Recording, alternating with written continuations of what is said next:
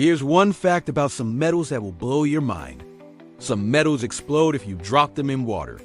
You've probably seen sodium and potassium in the periodic table. These metals are highly reactive.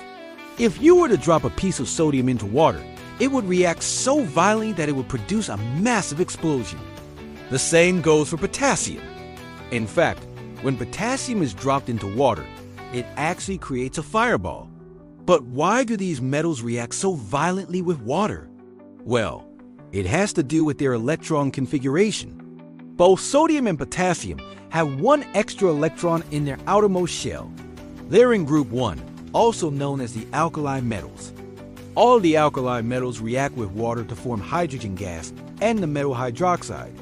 But the reaction gets more violent as you go down the group. By the time you reach potassium, the reaction is so violent that it's actually considered explosive. Now, you know. Hit the like button for more crazy science facts every day